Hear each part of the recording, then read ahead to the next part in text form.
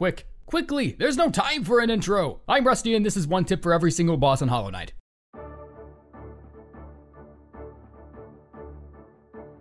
Make sure you have some good spell charms equipped prior to the fight. Once the Broken Vessel stands in the middle of the arena and cascades multiple blobs around you, you can retreat to one of the corners of the screen and spam Vengeful Spirit from a safe distance.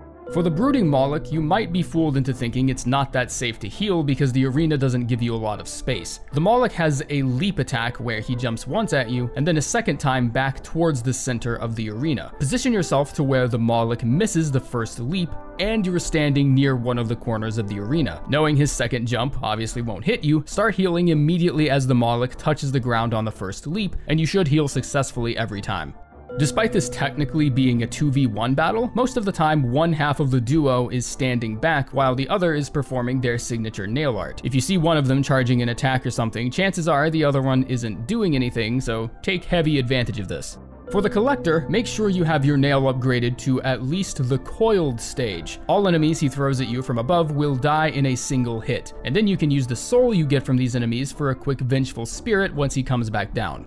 The Crystal Guardian is all about limiting your movement, so don't feel like you have to move around all the time. Sometimes dodging everything on the screen may just be as simple as jumping over it. If you don't get overwhelmed by all the lasers, you can outlast him pretty easily.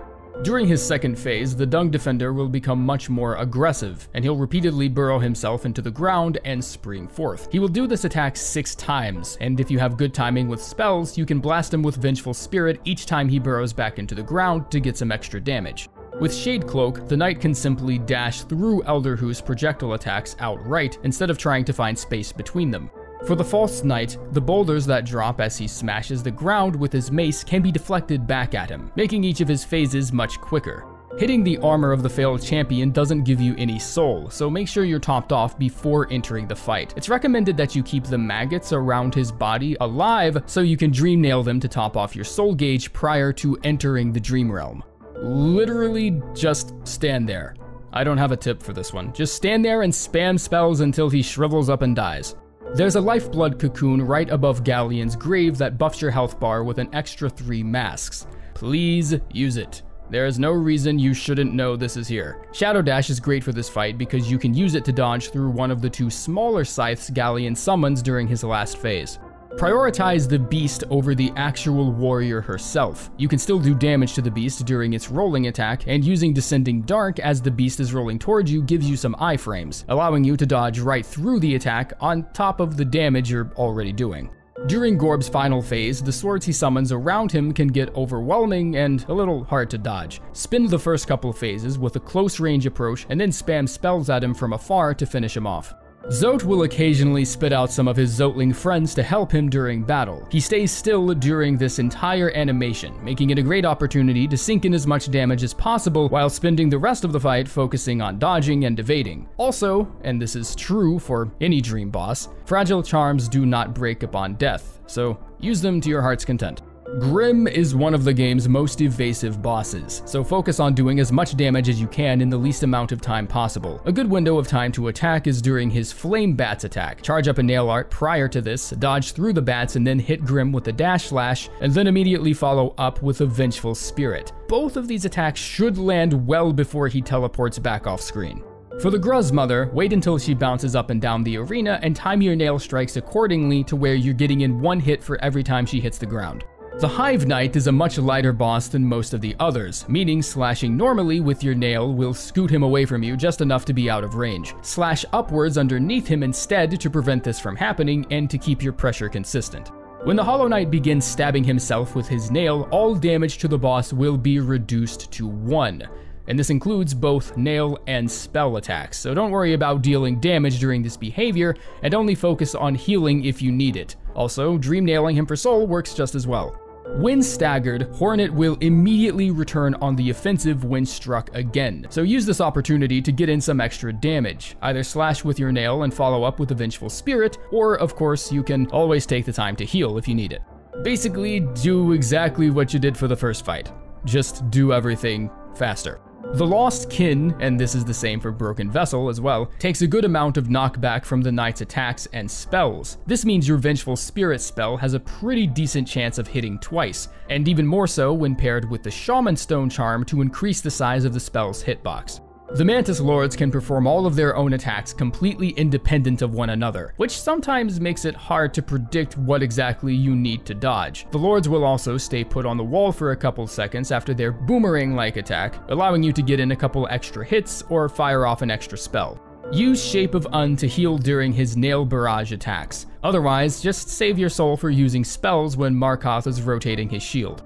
Stay underneath Marmu and up slash as much as possible to keep her juggled in the air, using charms like Mark of Pride and Quick Slash. Spells knock her back just as much, meaning spells like Howling Wraiths work just as good, if not better, for damage output.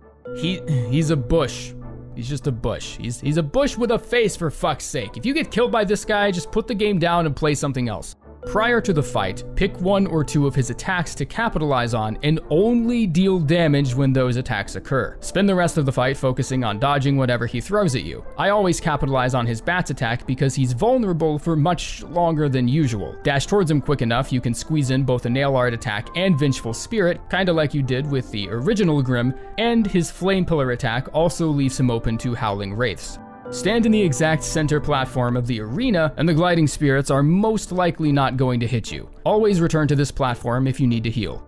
Most players already know about the platform cheese, but getting in damage can get really easy depending on which charms you have equipped. As Nosk is running towards the ledge, upstrike him and then immediately fire a Vengeful Spirit behind you. Also, Nosk's Infection Globs aren't that good at leading your location, so just inching forward slowly and taking a couple steps each time he drops a glob will ensure that you almost never get hit by it. Don't worry about lowering the health of both Oblobbles at the same time. Defeating one gives the remaining Oblobble a spike of health and an extra burst of aggression, so just focus on one and take him down immediately. You could also line them both up and then use the Howling Wraith spell to damage them both at the same time. Having Quick Focus equipped means you can heal in between every one of Sheo's attacks, which is something you normally wouldn't be able to do without the charm. Spell charms also work great because Shio moves around a lot and is constantly vulnerable to at least one of your spells. It's really just a matter of getting proper timing. The Descending Dark spell comes with a pretty big window of invincibility frames, meaning you can time this spell to avoid just about any of the Pure Vessel's attacks, as well as do some decent damage in the process. Although this shouldn't be done completely in lieu of dodging, and should only be used if you absolutely can't dodge an incoming attack any other way. Be mindful of the cooldown on your Shadow Dash because you'll need it to dash through the Wall of Light attack. There's a window of time for you to heal right after she casts the third and final I-Beam attack. Panic healing is extremely costly during this fight, so don't get psyched out by low health and instead just focus on moving around any attacks in progress before healing.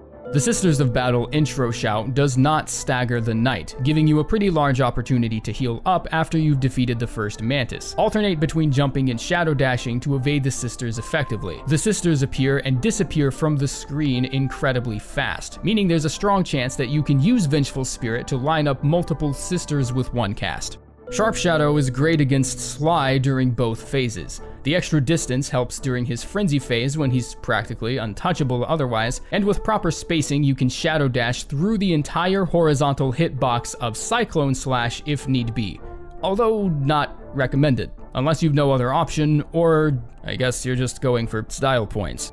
You can get a pretty decent amount of upgrades from other locations before ever needing to fight the Soul Master. Use the lantern to get into Crystal Peak, get the long dash, and use it to acquire the Pale Ore at the top of the kingdom. By doing this, you can get the channeled nail prior to the fight with Soul Master, making the fight go a hell of a lot quicker than usual. Stand at the center of the arena when the Soul Tyrant summons his spiraling orbs, and you will almost never get hit by them. The Soul Tyrant teleports around a lot quicker than his non-dream counterpart, so stacking Soul Catcher and Soul Eater are a great way to make sure you have a soul reserve at all times. When the Tyrant sweeps across the ground, jump over him and immediately fire a Vengeful Spirit in his direction, and it will almost always hit twice. This dude is basically just a fat Mantis Lord. If you took care of that fight, you can take care of this one. Honestly, I'm only listing this as a boss because the Hall of Gods has him listed as one as well for some reason. But if we're being honest, this guy is really nothing but a fat soul battery. If you're good at melee combat, equip some good melee charms and use your Shadow Dash to dodge inwards and through the Traitor Lord's attacks. This keeps you at a constant close range with the Traitor Lord, which also lessens the likelihood of him using his projectile or shockwave attacks. Use the Dream Wielder charm and Dream Nail to gain soul off of Uumuu when he's invulnerable. At this point, you can just wait for Quirrell to slash him and then just spam Howling Wraiths. Downstrike over him when he swoops down and across the arena, and then launch a Vengeful Spirit in the direction he's going for some extra damage. Should reduce the duration of the fight down to like 15 seconds, honestly. This one can be a little tough, but if you're really good at tracking how much damage you've done to each of the Watcher Knights, you can pace out the fight in a way where you rarely ever have to face more than one at a time. As one knight dies, the animation time for another one to join the battle takes a pretty long time. Also, yes, the chandelier. Just, yeah, there's no reason you shouldn't know this is here. Using Vengeful Spirit as White Defender tosses out dung balls can destroy the ball as well as damage the boss himself. Additionally, his Frenzy attack halfway through the battle can be timed with Vengeful Spirit casts as he burrows his way back into the ground. Any strategy you had for Dung Defender will reasonably work here too. When Winged Nosk swoops downward across the arena, you can apply the same strategy you did for Vengefly King and Pogo on its head. In the Pogo with a Vengeful Spirit cast in the direction it's gliding for maximum damage. If you need time to heal, step off of the arena to mitigate the risk of being hit by one of Xero's floating swords, as you will be just enough out of range for it to be safe. Hmm. Oh, brilliant. Ah, shit, there's no time for an outro either. Quick, quick, in the video!